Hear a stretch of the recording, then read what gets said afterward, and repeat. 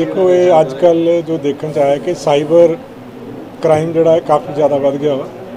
ਬਹੁਤ ਤਰ੍ਹਾਂ ਦੇ ਕੇਸਿਸ ਆਉਂਦੇ ਆ, ਇਹ ਬੜਾ ਲੰਬਾ ਵਿਸ਼ਾ ਹੈ ਬਟ ਰੀਸੈਂਟਲੀ ਜਿਹੜਾ ਮੈਂ ਅੱਜ ਕੱਲ ਦੇਖਿਆ, ਨਵਾਂ ਲੇਟੈਸਟ ਜਿਹੜਾ ਟ੍ਰੈਂਡ ਚੱਲਿਆ ਹੈ ਕਿ ਕਿਸੇ ਨੂੰ ਫੋਨ ਆਉਂਦਾ ਹੈ ਕਿ ਤੁਹਾਡੇ ਰਿਸ਼ਤੇਦਾਰ ਜਿਹੜਾ ਮੈਂ ਬੋਲ ਰਿਹਾ ਹਾਂ ਕਿਸੇ ਨਾ ਕਿਸੇ ਫੋਰਨ ਕੰਟਰੀ ਤੋਂ ਕਿ ਮੇਰੇ ਅਕਾਊਂਟ 'ਚ ਇੰਨੇ ਪੈਸੇ ਪਾ ਦਿਓ, ਮੈਨੂੰ ਤੁਰੰਤ ਹੈਲਪ ਦੀ ਜ਼ਰੂਰਤ ਹੈ ਪਿਛਲੇ 3-4 ਦਿਨ ਦੇ ਵਿੱਚ ਕਮ ਸੇ ਕਮ 10 ਐਸੇ ਕੇਸਿਸ ਐਸੀਆਂ ਕੰਪਲੇਂਟਸ ਆ ਗਈਆਂ। ਜਿਹਦੇ 'ਚ ਲੋਕਾਂ ਨੇ ਸੋਚ ਕੇ ਕਿ ਸਾਡਾ ਰਿਸ਼ਤੇਦਾਰ ਹੀ ਬੋਲ ਰਿਹਾ, ਉਹਦੇ ਅਕਾਊਂਟ 'ਚ ਪੈਸੇ ਪਾ ਦਿੱਤੇ। ਬਾਅਦ 'ਚ ਪਤਾ ਲੱਗਿਆ ਕਿ ਉਹ ਫਰਾਡ ਸੀਗਾ। ਇਸੇ ਤਰ੍ਹਾਂ ਬਹੁਤ ਸਾਰੇ ਸਾਈਬਰ ਦੇ ਵਿੱਚ ਫਾਈਨੈਂਸ਼ੀਅਲ ਫਰਾਡਸ ਹੁੰਦੇ, ਜਿਹਦੇ 'ਚ ਕੋਈ ਐਪਲੀਕੇਸ਼ਨ ਦੇ ਬੇਸ ਤੇ ਕੋਈ OTP ਪੁੱਛ ਕੇ, ਕੋਈ ਪਿਨ ਨੰਬਰ ਪੁੱਛ ਕੇ, ਉਹ ਜਿਹੜੇ ਪੈਸੇ ਆ ਟ੍ਰਾਂਸਫਰ ਹੋ ਜਾਂਦੇ ਆ ਅਲੱਗ-ਅਲੱਗ ਅਕਾਊਂਟਸ ਦੇ ਵਿੱਚ। ਸੋ ਸਾਈਬਰ ਜਿਹੜਾ ਹੈਲਪ ਡੈਸਕ ਆ, ਇਹਦਾ ਮੇਨ ਮੋਟਿਵ ਜਿਹੜਾ ਇਹ ਹੈਗਾ ਬੇਸਿਕਲੀ ਕਿ ਇੱਕ 골ਡਨ ਪੀਰੀਅਡ ਹੁੰਦਾ ਆਪਾਂ ਜਿਹਨੂੰ ਕਹਿੰਦੇ ਆ। ਕਿ 24 ਘੰਟੇ ਦਾ ਇੱਕ ਪੀਰੀਅਡ ਹੁੰਦਾ ਹੈ। ਉਸ ਪੀਰੀਅਡ ਦੇ ਦੌਰਾਨ ਜੇ ਬੈਂਕ ਨੂੰ ਜਾਂ ਫਾਈਨੈਂਸ਼ੀਅਲ ਇੰਸਟੀਟਿਊਸ਼ਨ ਨੂੰ ਜੇ ਸ਼ਿਕਾਇਤ ਕਰ ਦਿੱਤੀ ਜਾਵੇ ਸਾਈਬਰ ਫਰਾਡ ਦੀ, ਤਾਂ ਪੈਸੇ ਜਿਹੜੇ ਆ ਉਹ ਅਗਲੇ ਖਾਤੇ 'ਚ ਟ੍ਰਾਂਸਫਰ ਜਿਹੜੀ ਆ, ਟ੍ਰਾਂਜੈਕਸ਼ਨ ਜਿਹੜੀ ਆ ਉਹ ਨਹੀਂ ਹੁੰਦੀ। ਉਹ ਪੈਸੇ ਜਾਂ ਤਾਂ ਉੱਥੇ ਬਲੌਕ ਹੋ ਜਾਂਦੇ ਆ ਜਾਂ ਵਾਪਸ ਆ ਜਾਂਦੇ ਆ। ਸੋ ਨਾਰਮਲੀ ਦੇਖਣ ਚ ਆਇਆ ਸੀਗਾ ਕਿ ਲੋਕ ਜਦੋਂ ਸਾਈਬਰ ਸੈੱਲ ਦੇ ਵਿੱਚ ਕੰਪਲੇਂਟ ਕਰਦੇ ਆ, ਜੇ ਸੀਪੀ ਆਫਿਸ 'ਚ ਕਰਦੇ ਆ ਜਾਂ ਕਿਤੇ ਹੋਰ ਕਰਦੇ ਆ ਤਾਂ ਕਈ ਵਾਰੀ 24 ਘੰਟੇ ਤੋਂ ਬਾਅਦ ਕਰਦੇ ਆ ਜਾਂ 24 ਘੰਟੇ ਤੋਂ ਵੱਧ ਟਾਈਮ ਲੱਗ ਜਾਂਦਾ ਉਹਨਾਂ ਦੀ ਕੰਪਲੇਂਟ ਸਾਈਬਰ ਸੈੱਲ 'ਚ ਪਹੁੰਚਣ ਤੇ।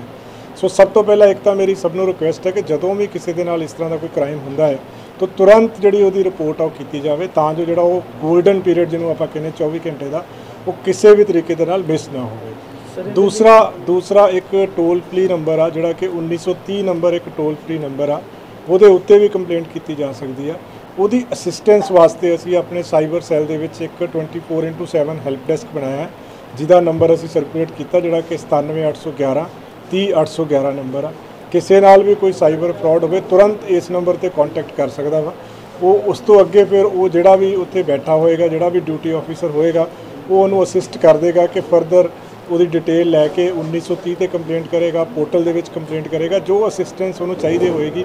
ਸਾਡਾ ਬੇਸਿਕਲੀ ਕੋਸ਼ਿਸ਼ ਇਹ ਹੈ ਕਿ 24 ਘੰਟੇ ਦੇ ਅੰਦਰ ਅੰਦਰ ਕੰਸਰਨਡ ਫਾਈਨੈਂਸ਼ੀਅਲ ਇੰਸਟੀਟਿਊਸ਼ਨ ਜਿਹੜਾ ਹੈ, ਉਹਨੂੰ ਕੰਪਲੇਂਟ ਚਲੀ ਜਾਵੇ ਤਾਂ ਜੋ ਲੋਕਾਂ ਦੇ ਜਿਹੜੇ ਪੈਸੇ ਆ, ਉਹ ਅਗਲੇ ਹੈੱਡ 'ਚ, ਅਗਲੇ ਅਕਾਊਂਟ 'ਚ ਜਿਹੜੀ ਟ੍ਰਾਂਜੈਕਸ਼ਨ ਨਾ ਹੋਵੇ ਔਰ ਪੈਸੇ ਵਾਪਸ ਆ ਸਕਣ। ਸੋ ਇਹਦਾ ਮੇਨ ਮੰਤਵ ਜਿਹੜਾ ਵਾ, ਇਹ ਸਾਈਬਰ ਸੈੱਲ ਦਾ ਹੈਗਾ ਕਿ ਪੈਸੇ ਜਿਹੜੇ ਆ ਜਿਹੜੀ ਵੀ ਰੋਂਗ ਟ੍ਰਾਂਜੈਕਸ਼ਨ ਹੋਗੀ ਜਾਂ ਫਰਾਡ ਫ੍ਰੈਡੂਲੈਂਟ ਟ੍ਰਾਂਜੈਕਸ਼ਨ ਹੋਗੀ ਉਹ ਪੈਸੇ ਵਾਪਸ ਆ ਜਾਣ ਆਪਣੇ ਅਕਾਊਂਟ 'ਤੇ। ਇਸ ਤੋਂ ਇਲਾਵਾ ਸਰ ਕੋਈ ਹੋਰ ਇਹਦਾ ਉਪਯੋਗਤਾ ਇਹਦਾ ਮਤਲਬ ਨਹੀਂ ਮੇਨ ਮੇਨ ਮੋਟਿਵ ਇਹਦਾ ਜਿਹੜਾ ਮੈਂ ਤੁਹਾਨੂੰ ਦੱਸਿਆ ਇਹੀ ਹੈ ਇਸ ਤੋਂ ਇਲਾਵਾ ਅਸੀਂ ਆਪਣੇ ਸਾਈਬਰ ਸੈੱਲ ਨੂੰ ਹੋਰ ਇਕਵਿਪ ਕਰਨ ਜਾ ਰਹੇ ਹਾਂ ਜਿਹਦੇ ਵਾਸਤੇ ਸਾਡੇ ਕੋਲੇ ਹੋਰ ਇਕਵਿਪਮੈਂਟਸ ਵੀ ਆ ਰਹੇ ਆ। ਇਹਨਾਂ ਦੇ ਵਿੱਚ ਅਸੀਂ ਥੋੜੀ ਇਹਦੀ ਸਟਰੈਂਥ ਵੀ ਹੋਰ ਵਧਾਵਾਂਗੇ ਟ੍ਰੇਨਿੰਗ ਵੀ ਦਵਾਵਾਂਗੇ ਤਾਂ ਜੋ ਜਿਹੜੇ ਕੇਸਿਸ ਆਲਰੇਡੀ ਅੰਡਰ ਇਨਵੈਸਟੀਗੇਸ਼ਨ ਆ ਜਾਂ ਜਿਹੜੇ ਕੇਸਿਸ ਜਿੱਦਾਂ ਆਪਾਂ ਕਹਿ ਰਹੇ 24 ਘੰਟੇ ਕ੍ਰਾਸ ਕਰਕੇ, ਉਹਦੀ ਤਫਤੀਸ਼ ਦੇ ਵਿੱਚ ਵੀ ਜਿਹੜਾ ਉਹਦਾ ਮਿਆਰ ਆ, ਉਹਦਾ ਹੋਰ ਉੱਚਾ ਚੁੱਕਿਆ ਜਾਵੇ। ਇੱਕ ਇਨਸਪੈਕਟਰ ਰੈਂਕ ਦੇ ਆਫੀਸਰ ਅਸੀਂ ਹੁਣ ਨਵੇਂ ਇੱਥੇ ਇੰਚਾਰਜ ਵੀ ਲਗਾਏ ਆ।